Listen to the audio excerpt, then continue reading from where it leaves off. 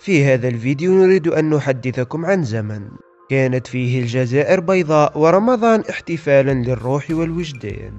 في زمن يهل رمضان ببركته وخيراته.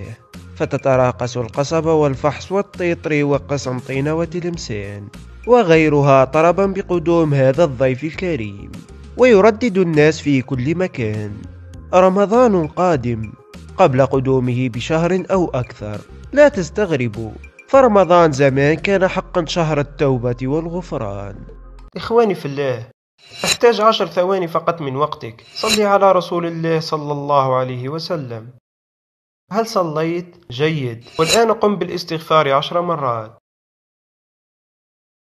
الآن قد فزت بثواب. بسم الله لنبدأ الفيديو. كان الجزائريون في بداية القرن الماضي يستقبلون الشهر الكريم بشراء الحبوب. من أسواق الجزائر وتلمسان وقسنطينة ووهران والبوليدة. وتقوم النساء بطحن حاجاتهن من القمح أو الذرة بالراحة اليدوية.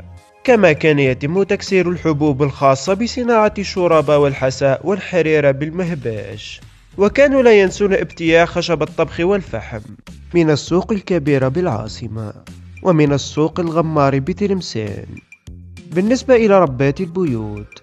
كان رمضان فرصة للقيام بالتنظيف الكبير ودهن الجدران وتلميع وتدليل الأواني الفخارية والنحاسية حان وقت ربط خيوط الرافية بنهاية العصا لإزالة الغبار وأنسجة العنكبوت المنسوجة هنا وهناك في وسط الدار والغرفات. عند مقدم الشهر الفضيل كانت البيوت تطلى بالجير القادم من جنوب الجزائر من محجرة جوبير لتبييض الشرفات والوجوهات الخارجية. بإضافة مسحوق الشب وقطع التين الشوكي إليه لتتحول إلى طلاء يقاوم سوء الأحوال الجوية. لم تكن المصابيح الكهربائية موجودة في البيوت الجزائرية حينها وكانت المنازل والشوارع تضاء بمصابيح الزيت. لا هاتف ولا راديو ولا تلفزيون. كان لدى سكان القصبة خاصة حيلة ذكية لمعرفة وقت الإفطار بالضبط. كانوا يجلسون على سطوح البيوت لرؤية إمام الجامع الكبير وهو يرفع الأعلام على قمة المئذنة. كان العلم الأبيض يشير إلى اقتراب ساعة الإفطار وكان ينزله بعد دقائق لرفع العلم الأخضر.